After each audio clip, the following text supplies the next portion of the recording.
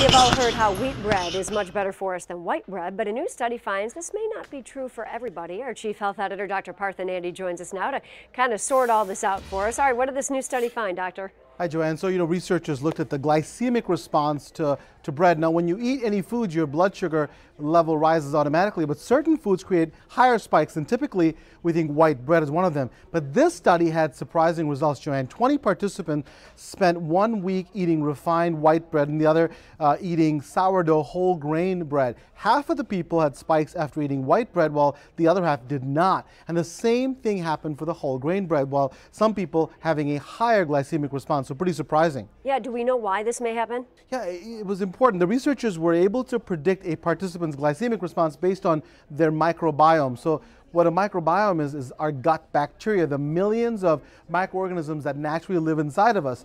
And they may play a role in how your body reacts to different bread hmm. types. Does it matter what type of bread you think ultimately? Because that's one aspect of it, but nutritionally, yeah, exactly. there's a difference, right? I think that this study may have showed, Joanne, that there's no clinical difference when it comes to eating white or, or, or wheat bread, but it actually was a very small study, and it doesn't tell us what the effects are long term, which is really important. We do know that whole grains are very important, so my prescriptions as I always have them, is that don't pick a bread by its color. Food manufacturers can add molasses or food coloring to give it a darker look, to kind of fool you a little bit.